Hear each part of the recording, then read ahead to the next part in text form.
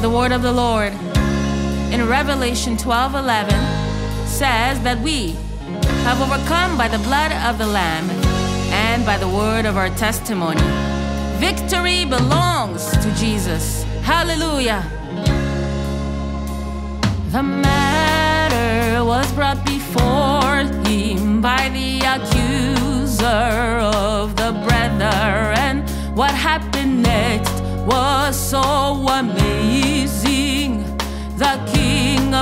Of Kings said he settled it. He shed his blood for our redemption.